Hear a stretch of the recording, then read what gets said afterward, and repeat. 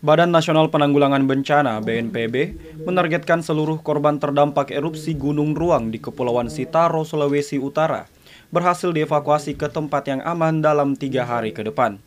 Hal tersebut disampaikan Kepala BNPB Letnan Jenderal Suharyanto yang ditemui saat memimpin rakor lintas sektoral bersama Pemprov Sulut di Manado Kamis 2 Mei. Suharyanto mengatakan, Proses evakuasi yang dilakukan dalam tiga hari ke depan itu akan memanfaatkan seluruh alutsista kapal penyeberangan laut yang ada. Kondisi itu pun diselaraskan dengan jumlah armada kapal yang saat ini sudah ditambah menjadi 11 unit untuk mengangkut sisa korban yang tertinggal.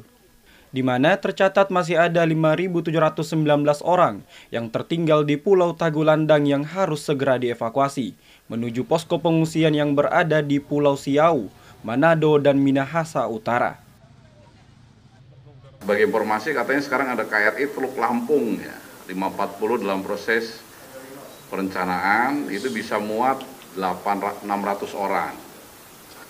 Kemudian ada kapal bea cukai dan kami juga dari BNPB ini akan menambah dari swasta ya, yaitu KMP Glory dan KMP Lokong Banua.